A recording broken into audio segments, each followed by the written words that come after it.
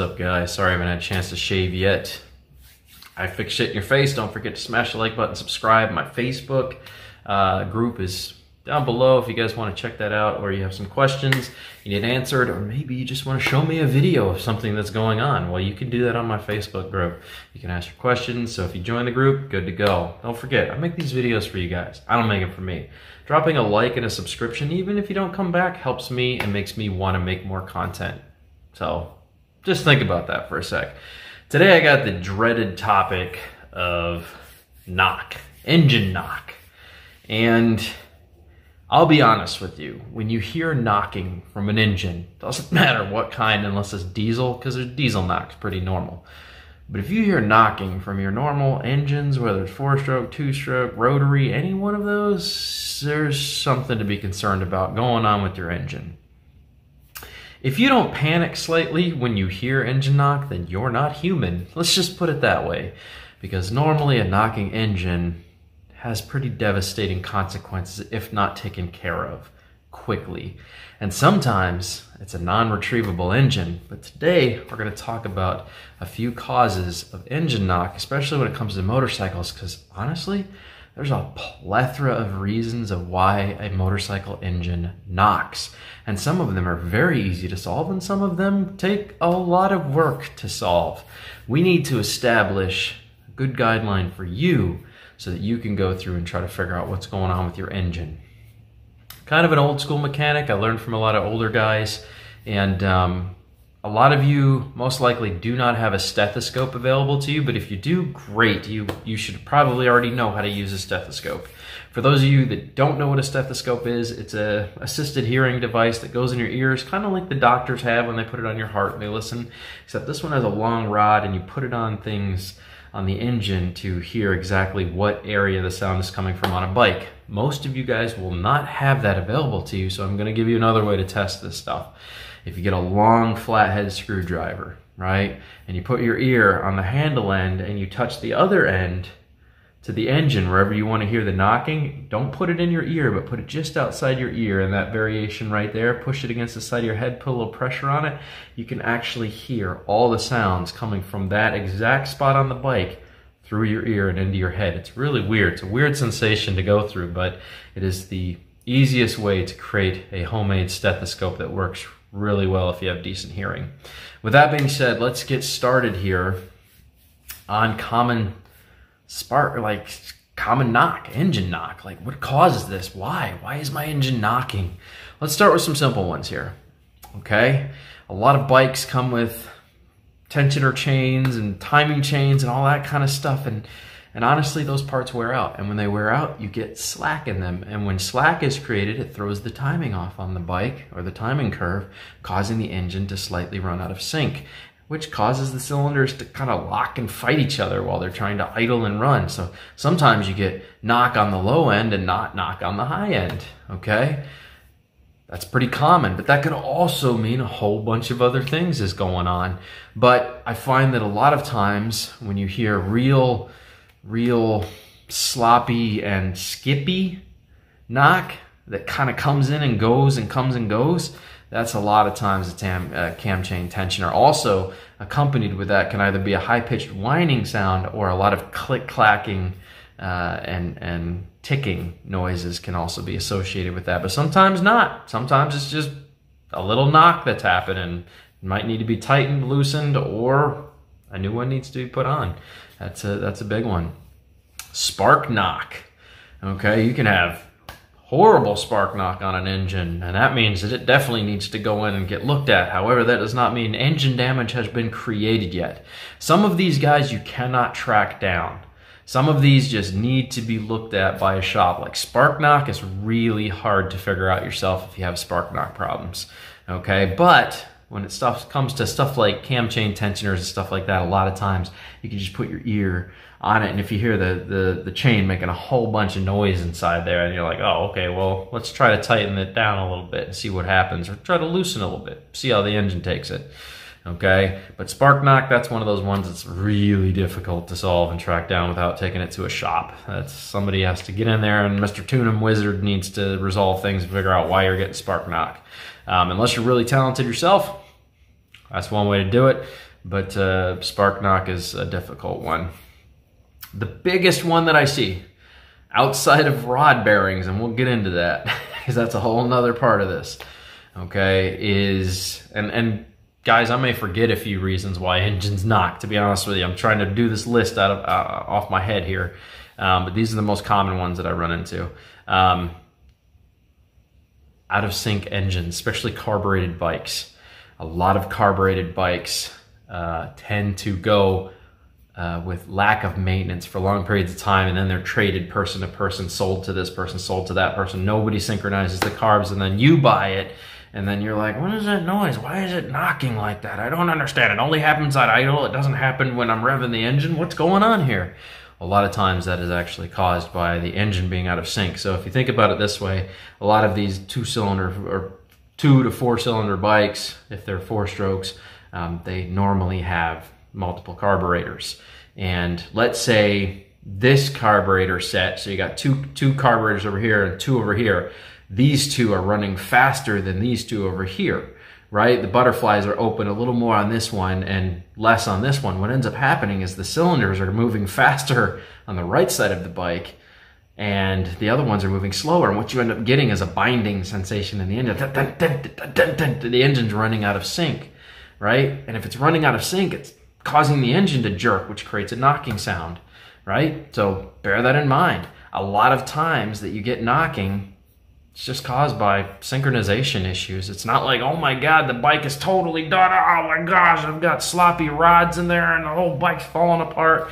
And a lot of people do that. They panic immediately when they hear rod knocking. They go, oh my God, I'm gonna, I'm gonna sell this bike uh, I hear something coming out of the engine, I'm gonna get rid of this bike. And that happens quite often. I see that on Facebook all the time. Like, well, did you synchronize? I'll even hit them up with a message like, hey, bud, have you tried synchronizing the carb yet? Oh, I don't know how to do that. Well, that's why you take it to a shop and you maintain it. I don't have that kind of money. Well, then you probably shouldn't have bought a motorcycle. If you're not willing to work on it yourself and you don't have money to take it to a shop, you probably shouldn't have bought a motorcycle in the first place. Just don't. Unless you can afford a brand new one, stay the fuck away from bikes. No offense, but stay the fuck away from bikes. You probably shouldn't be on one. If you can't work on it, and you can't afford to take it to a shop, don't get into motorcycles. I'm just gonna say that right now. Save yourself time, hassle, energy, effort, all that stuff. Just stay away from bikes. It's not your thing. Don't do it. Okay, that's a big one. Carburetor issues, big one. There can even be misfiring taking place. Let's say a carburetor is not producing fuel, right? You've got three carburetors working properly and one carburetor's not, or two carburetors. Oh man, then the engine's really out of sync. Boy, then it sounds like it's tearing itself apart internally, you know? Just sounds horrible. Like, oh my God, I'm going to get rid of this bike. A lot of times misfiring happens, whether it's a coil, spark plug, wire, whatever, you know, carburetor issues. That's, it's just, I mean, guys, you got to look into it. Remove each carb or remove each spark plug. Make sure you're getting spark. You know, you can check, there's certain things you can troubleshoot and check on. Um, but I think, I think that's my list of basic ones that you can solve fairly easily just by either doing it yourself or taking it to a shop or just checking it out. Set of vacuum gauges are like 50 bucks. Get yourself some vacuum gauges. Everything else outside of that was just kind of troubleshooting. I mean, you can order parts from eBay for your bike. It gets easier. Now we're gonna get into things that are that are unfortunately normally bike ending things. Um, if you're somebody who likes to rev your engine a lot, and, and, this is part of the sport bike world, man, people like to tack out their revometer, you know, their, their rev limiter on their sport bikes and make them go, you know, and that's so bad for your engine.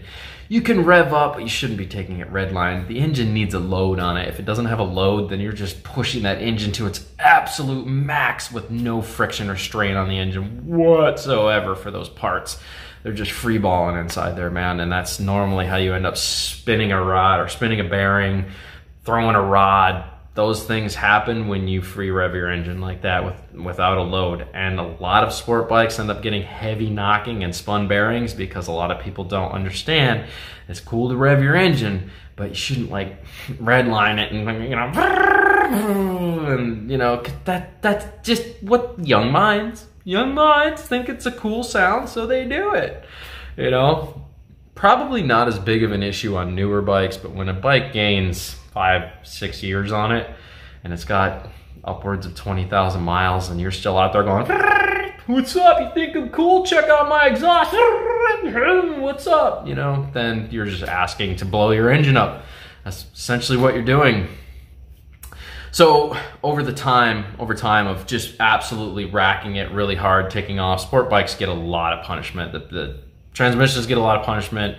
The engines take a lot of punishment, especially on 600s and you know a lot of the super sports. Like I have a super sport now, but a lot of the super sports and base baseline 600s take a ton of punishment and that's all because it's transferring all of the power from the cylinders straight to the crank. And what's connected to the crank? The rods are connected to it. So when you're just giving her the beans constantly, you're putting all that pressure on the rod bearings. And a lot of times what happened is over time, especially if the bike wasn't maintained, wasn't cared for, you weren't synchronizing, no maintenance was being done, you just end up spinning a rod or a bearing. You end up throwing a rod or spinning a bearing really bad. And if you want to hear what that sounds like, there's tons of YouTube videos to show you what a spent bearing rod sounds like. It's horrible. It starts off a little tiny knocking noise, and from there it continually just gets worse and worse and worse.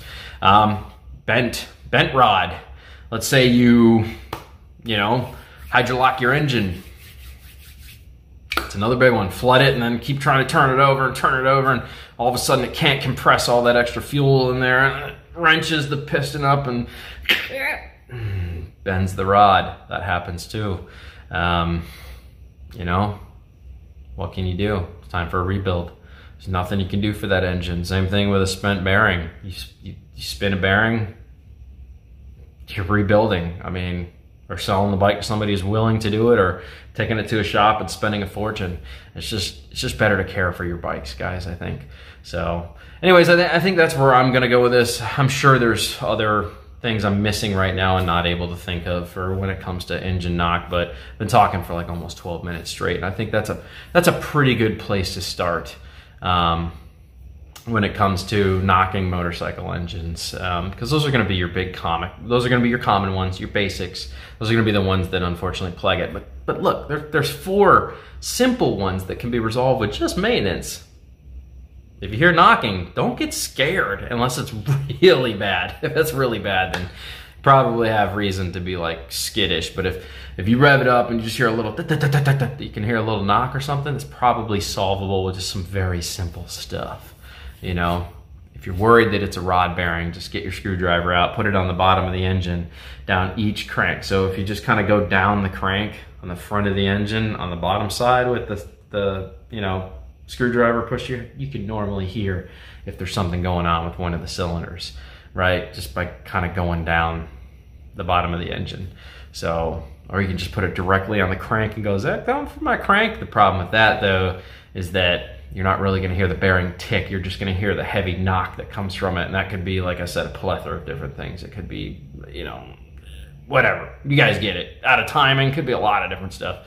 So, anyways, I hope that helps. Uh, if you guys were wanting to get in touch with me, like I said, Facebook in description of video. Uh, there's other stuff there. If you want to support my channel, tons of ways to do it, guys. Smash the like button, show some love. You guys get it. So, all right, I'll catch you on the flip, man. See you in the next video. Toodles, shitheads. Are you sure this is okay? You're in country, dude. Live a little. Now, she's pretty sensitive, so go easy on the throttle, okay? All right.